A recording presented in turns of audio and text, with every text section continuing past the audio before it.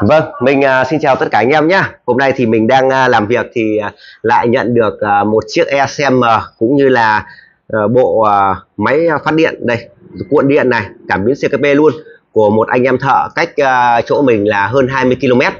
Anh uh, mang đến nhờ mình uh, kiểm tra giúp xem là lỗi 59 xuất phát từ đâu ra. Một là có thể là do cảm biến CKP bị lỗi, hai là có thể là do ECM bị lỗi. Vâng, vậy thì để mà kiểm tra được chính xác là lỗi 52 này xuất phát từ đâu thì anh em phải có à, bộ máy test. Vâng và hôm nay mình sẽ test trên máy Motosyntax phiên bản V2.4 một uh, bộ uh, máy có thể là rất hiện đại và phiên bản này đang là phiên bản mới nhất và rất được uh, uh, mong đợi từ ờ, các ờ, anh em thợ. Phiên bản này có thể nói là rất là tuyệt vời, anh em ạ. Luôn đồng hành cùng anh em là có một ờ, cô trợ lý ảo hướng dẫn anh em à, dùng cáp này, rồi à, anh em à, sử dụng máy làm sao là cô trợ lý ảo sẽ hướng dẫn anh em rất là chi tiết. Vâng và bây giờ thì mình sẽ tiến hành, mình kiểm tra giúp cho anh em thợ xem là lỗi 52 xuất phát từ ECM mà ra hay là do cảm biến ctp bị kém nhá. Vâng bây giờ mình sẽ tiến hành mình kiểm tra giúp anh em. Motor tác xin chào anh Nguyễn Bình Thiện, mời anh chọn chức năng từ menu.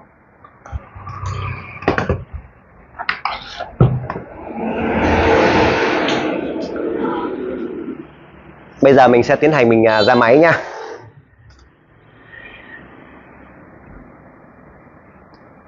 mình mình hạ thấp máy quay xuống một chút.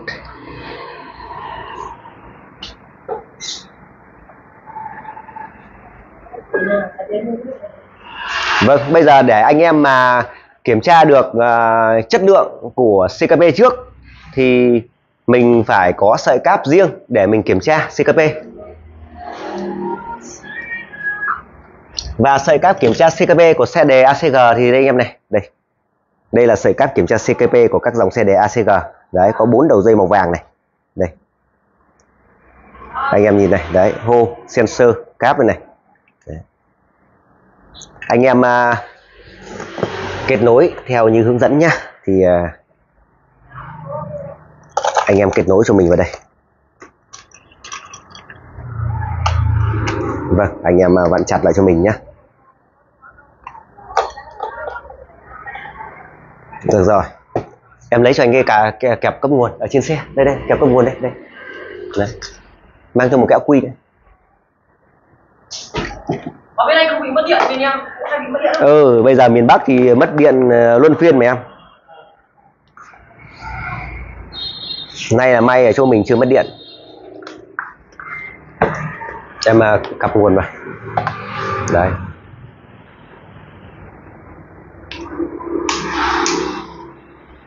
ra lấy cho anh một miếng nam châm ở cái chỗ kia. Vậy thì ờ, trên uh, đây là rắc CKP này anh em này. Đấy, rắc CKP trên à, xe này. Anh em à, cắm cho mình vào cái rắc ở đây nhé đấy. Cứ đúng rắc thì anh em mới cắm được rồi.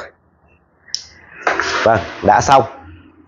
Bây giờ mình sẽ thao tác trên à, màn hình máy táp. Thì khi mà anh em cắm như thế này xong rồi đấy thì anh em phải có một miếng nam châm. Bởi vì là bây giờ anh em đã tháo cuộn điện ra khỏi xe rồi. Chứ còn nếu anh em để trên xe thì anh em chỉ cần xoay nam châm cái là nam châm sẽ quét qua bốn cái um, uh, ICO này. Đấy nhưng mà vì là tháo ra rồi anh em phải cho mình một nắm kiếm cho mình một miếng nam châm nhé để anh em mà quét. Và bây giờ mình sẽ tiến hành mình à, thao tác ở trên máy luôn để anh em nắm được nhé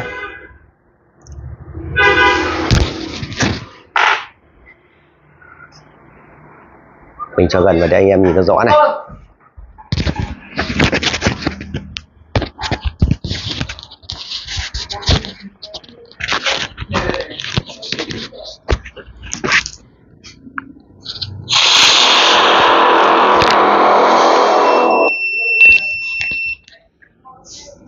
Moto Scantab xin chào anh Nguyễn Đình Thiện, mời anh chọn chức năng từ menu.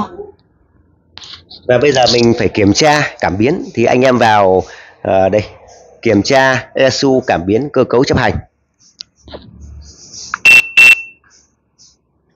Thông báo.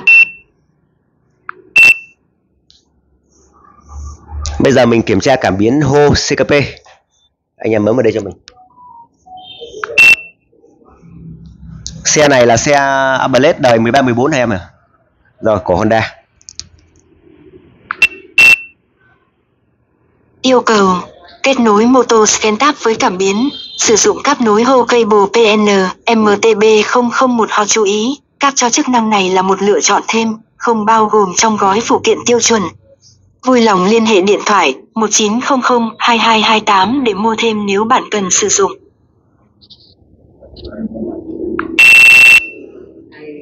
Yêu cầu, bấm nút tiếp tục sau đó quay vô lăng qua lại liên tục. Từ góc 10 độ độ đến góc 60 độ độ.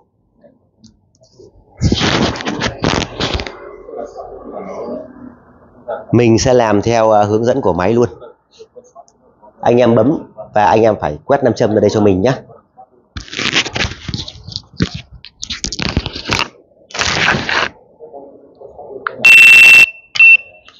Yêu cầu, quay vô lăng liên tục, mô tô ScanTap đang đợi.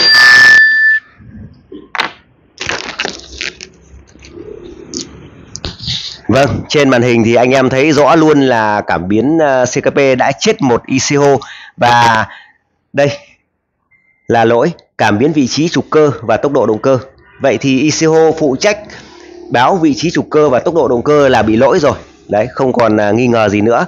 Còn ba ICO báo vị trí tức thời của vô lăng từ để phục vụ cho mục đích khởi động là tốt. Anh em nhìn này. Đấy, rất là rõ ràng. Rồi, mình sẽ có thể quay gần lại cho anh em thấy nhé rất là rõ đúng không ạ vậy thì như thế này thì mình kết luận là phần lỗi à, 52 xuất phát từ cảm biến vâng vậy thì bây giờ mình sẽ kiểm tra lại một lần nữa để cho chắc chắn nhé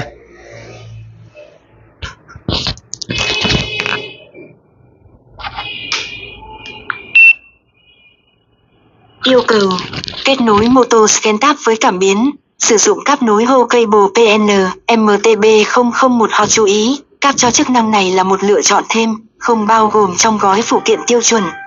Vui lòng liên hệ điện thoại 1900 2228 để mua thêm nếu bạn cần sử dụng.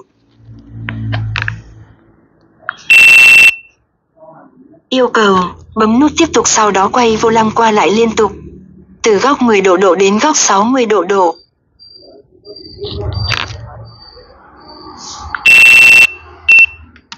Yêu cầu, quay vô lăng liên tục, mô tô scan tap.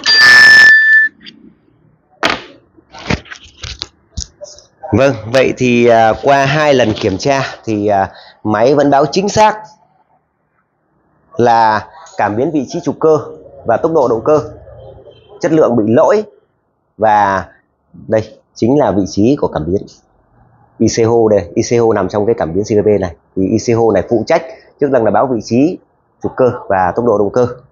Vâng vậy thì bây giờ là quá rõ rồi. Vậy thì uh, phần này là phần uh, bị lỗi. Và lỗi 52 là xuất phát từ cảm biến CKP rồi bây giờ anh giao cho em cái này này là chính xác lỗi nhá. Vâng bây giờ mình sẽ kiểm tra luôn chất lượng ECM của xe xe đề ACG ECM này là Ablet đời 13 14 đời 13 14 em nhỉ? Rồi, anh em thợ đang đứng đằng sau mình và hai anh em thợ liền cùng một cửa hàng cùng đi cơ. Đấy, nhưng mà anh em mà rất ngại lên hình nên là cũng ờ, chỉ đứng đằng sau xem mình thao tác thôi. Đấy, bây giờ mình sẽ kiểm tra chất lượng của e xem xem có vấn đề gì không nhé mình sẽ tắt phần mềm đã. Rồi, bây giờ mình sẽ tiến hành mình kết nối bộ cáp kiểm tra e xem của CD ACG một bộ cáp chuyên dụng mà bộ cáp này có giá là 4 triệu 800 ngàn đồng anh em nhé. Mình sẽ đi lấy bộ cáp đã.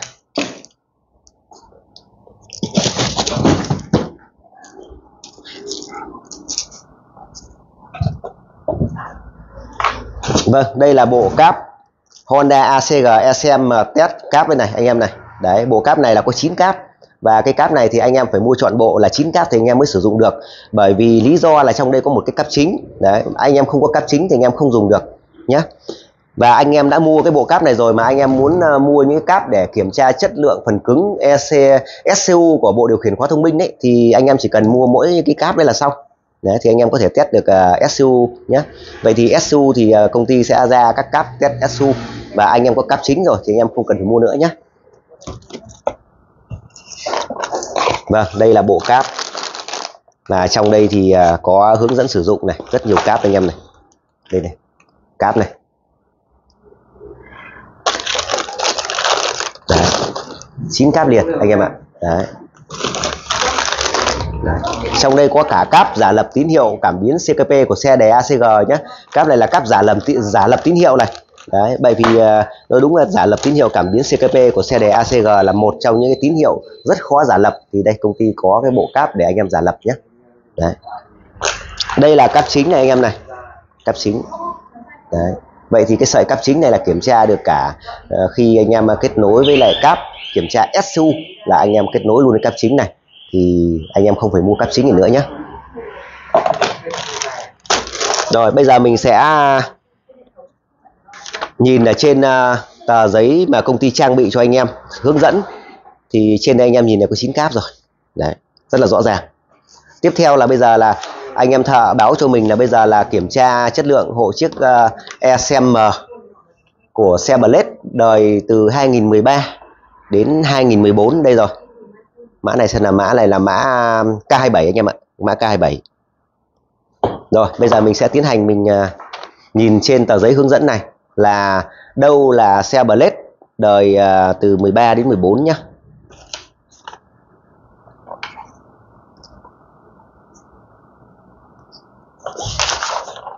Mình sẽ vào đây mình xem thì công ty cho ta danh sách luôn.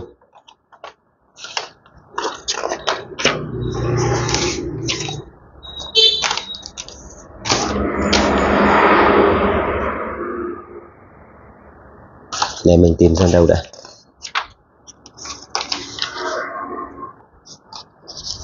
Đây, mình cũng à, tìm thấy rồi anh em ơi. Đây. Cáp này. Ablet đây. Ablet sợi cáp này kiểm tra được rất nhiều xe anh em ạ. Đấy. Ablet đời từ 13 14 đây.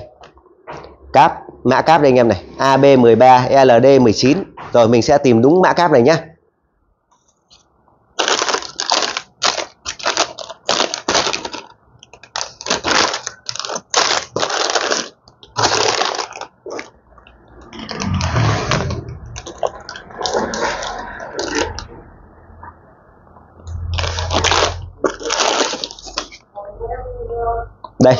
đây đây mà bạn làm mã cáp này anh em này. AB13 này LD19 này.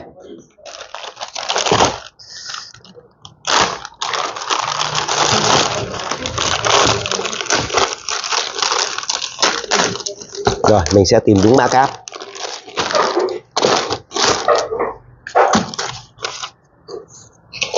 Anh em à, nhìn lại một lần nữa cho mình nhé đúng không ạ?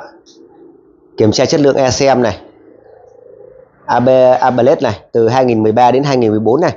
Đấy, rất nhiều xe. Và mã cáp là AB13 LD14 đây, mã cáp đây. AB13 LD14 bây giờ mình sẽ kết nối với ờ, ECM để kiểm tra trực tiếp chất lượng ECM nhé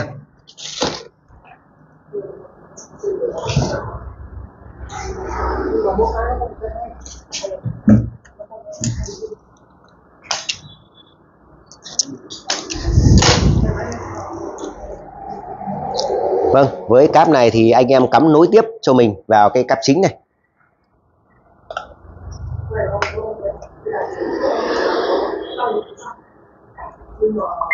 Anh em à, vặn chặt vào cho mình nhé.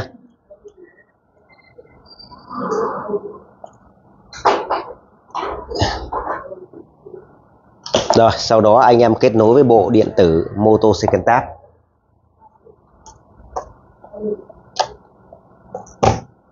Này thì dễ kết nối lắm. Tí nữa máy hướng dẫn anh em kết nối lại một lần nữa mà. Đấy.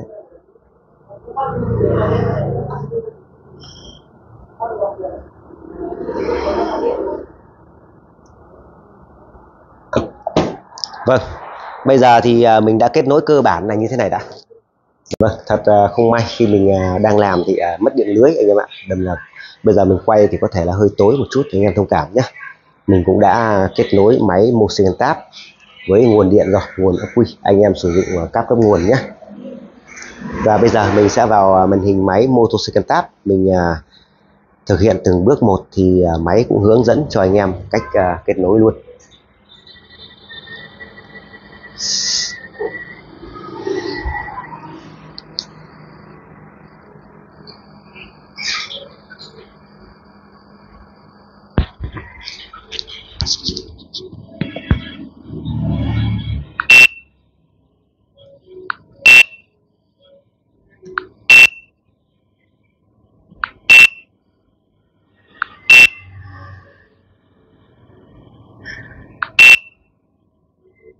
Yêu cầu Kết nối Moto ScanTap với ECU Sử dụng các test ECU PN AB13 LD19 chú ý, các cho chức năng này là một lựa chọn thêm, không bao gồm trong gói phụ kiện tiêu chuẩn.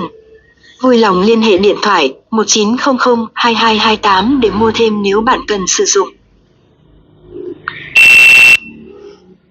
Yêu cầu cắm và nối cáp kiểm tra với ECM đúng theo sơ đồ hướng dẫn phía trên. Vâng, vậy thì ờ, bây giờ hướng dẫn ờ, trên ờ, máy thì rất là rõ rồi. Anh em bắt đầu cắm theo yêu cầu của máy các vị trí chân cắm nhé. Vâng, mình có thể bật điện máy quay sáng lên một chút.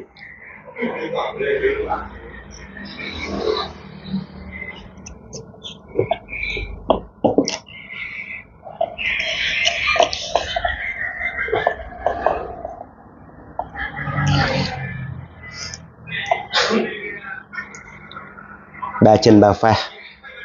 Dây vàng. Anh em cắm vào đây cho mình.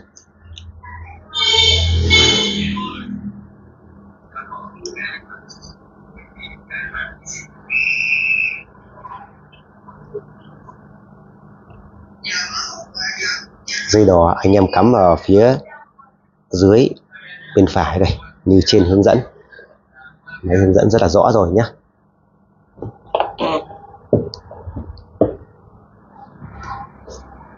rồi, sau đó ta quay trở lại màn hình chính.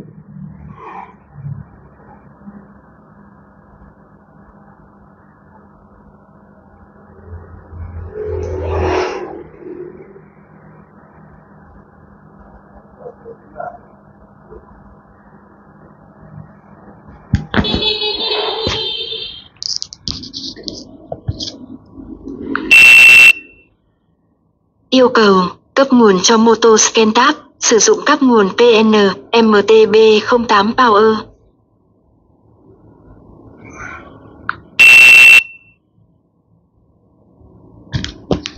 Vậy thì uh, tới phần này thì uh, máy sẽ mời chọn hiện tượng lỗi của ESM. Đấy thì à, ESM của anh em mà anh em phát hiện ra lỗi chính xác là phần nào thì anh em có thể chọn luôn. Ví dụ như là lỗi phần nạp điện, lỗi phần đánh lửa, lỗi phần phun xăng Đấy, tương tự như vậy thì có thể là lỗi phần khởi động. Và dòng cuối cùng là lỗi không xác định ở trường hợp nào. Vậy thì à, với chiếc ECM này mình sẽ chọn là lỗi không xác định ở trường hợp nào để máy tự tìm xem là sẽ xem bị lỗi gì nhé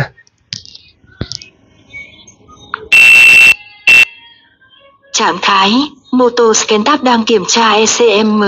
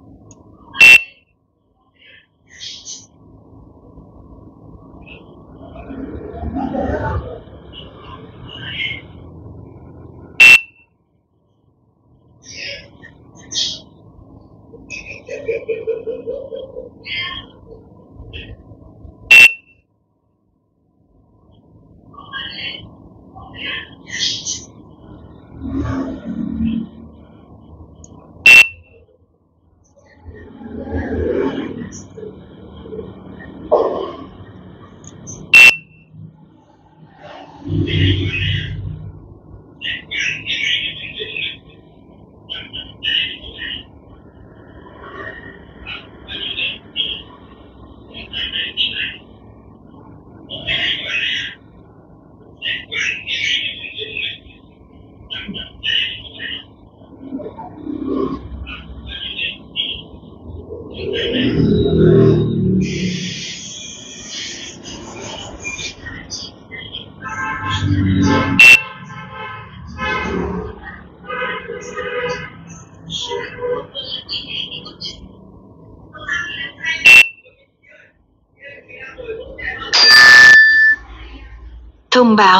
PCM ECM hoạt động tốt.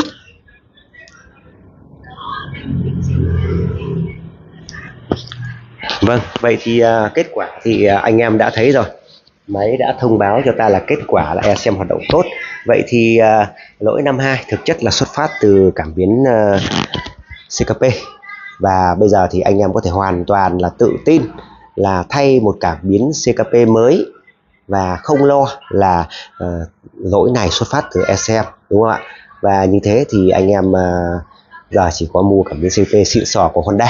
Và anh em nhớ nhé cảm biến CKP xịn của Honda là cảm biến liền với cuộn điện luôn. Ừ, nhà sản xuất không bán lẻ. Đấy cho nên là anh em nên là mua là cả luôn cả cuộn điện và anh em lắp vào thì yên tâm hơn nhé và trước khi anh em lắp vào thì anh em nên kiểm tra lại các đường dây uh, cho mình. Để xem có bị uh, cọ sát vào khung chập chập chạp thì không nhé đấy, vậy thì à, công việc mình kiểm tra giúp cho anh em thợ mang tới chỗ mình một chiếc ECM cũng như là một cảm biến CKP để xem lỗi 52 xuất phát từ đâu. Và máy Motosentat phiên bản V2.4 đã kiểm tra chính xác cho anh em biết là lỗi 52 này xuất phát là tại cảm biến chứ không phải do phần ECM cho nên là bây giờ anh em sẽ hoàn toàn tự tin tự tin để anh em uh, mua một bộ cảm biến CKP mới cùng với cuộn điện anh em lắp ráp vào là hoàn toàn yên tâm nhé Vâng vậy thì uh, ngày nay máy Mosentat V2.4 quá hiện đại rồi đúng không ạ? Và luôn đồng hành cùng anh em là có một cô uh, trợ lý ảo hướng dẫn anh em rất là chi tiết. Vậy thì uh, anh em quan tâm tới bộ máy Mosentat này anh em cứ trực tiếp liên lạc với mình theo số máy điện thoại ở phía dưới bên phải màn hình. Mình sẽ tư vấn cụ thể cho anh em nhé Vâng mình xin à, kết thúc video này ở đây. Hẹn gặp lại anh em ở những video tiếp theo. Xin chào và hẹn gặp lại.